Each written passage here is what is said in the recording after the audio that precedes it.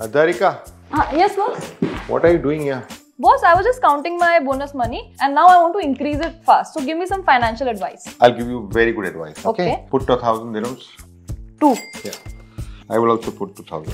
Okay. Oh wow. How much has become? Four thousand. Your two became four, right? Yeah. Now put three. Okay. Three. Okay. So which is more now? Four, sir. So now tell me which one you want. You want the four thousand or you want the three thousand? So four thousand. Take the four thousand. Are you sure? Yes. I'll take only this three thousand. Okay. Happy? Yeah, I got one thousand profit. Chalo. All the best. Thank you, boss. no, no, no, no. What? Boss, there's something wrong.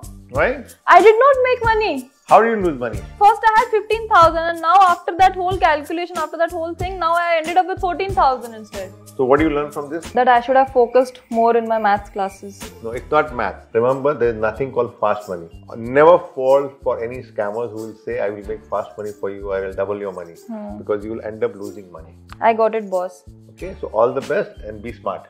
Boss, uh, what about my 1000 dirhams? No, that I'm not going to give you back. That is the cost of your learning this lesson so that you don't fall for this scam again in the future. What? It was at this moment that